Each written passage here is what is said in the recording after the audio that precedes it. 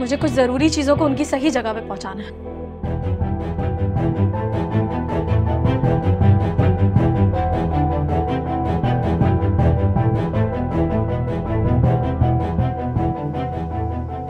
क्या कर? रही है ये लड़की मेरी तो कुछ समझ में नहीं आ रहा।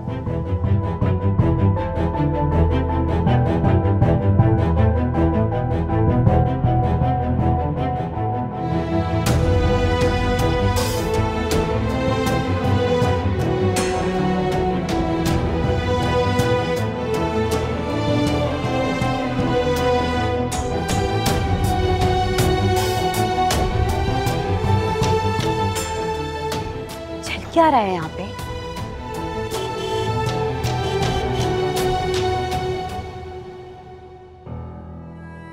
वहाँ पारा रुको। वहाँ कहाँ जा रही हो? रायत का है?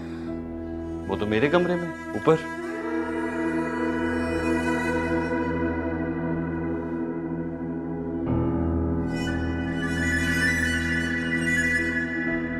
रायत रा रायत रा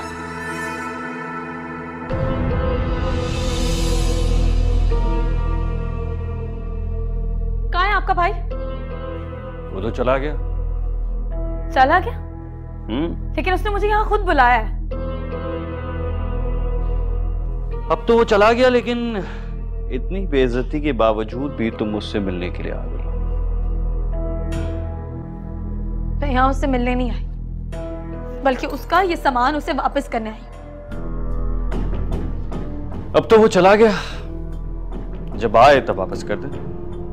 शुक्र करें कि वो यहाँ से चला गया। अगर वो यहाँ पर होता ना तो मेरे सामान खुद उसके मुँह पर मारते।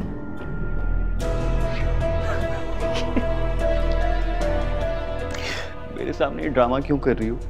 मैं कुछ ताना थोड़ी दे रहा हूँ। वैसे बहुत अफसोस हुआ मुझे ये जानकर कि राइब ने बहुत कम कीमत लगाई है तुम्हारे वक्त की। अगर मैं होता ना तुम्हारी एक मुस्कुराहट पर तुम्हें हीरो में तोल देता। सुहेल भैया?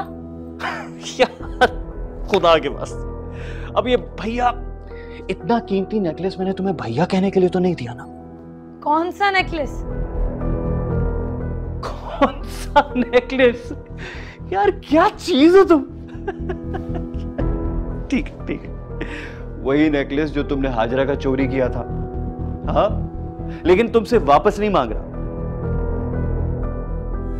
बल्कि मैं तो तुम्हें इससे ज़्यादा दूँगा क्योंकि अब तुम मेरे साथ हो ना। सुहेल भैया क्या बकवास कर रहे हैं आप? मैंने कोई नेकलेस चोरी नहीं किया है। अरे यार अब बस कर दो। ये मासूमियत और शराफत का ड्रामा बस कर दो ना। बल्कि वक्त नहीं है हमारे पास। आओ मेरी बात सुनो। सुहेल भैया क्या कर रहे हैं? हाथ छोड़े। सुहेल भैया हाथ छोड़े। वही कर रहा हूँ जो तुम अब तक राहित के साथ कर रही थी। मैं राहित से क्या राहित से हाँ?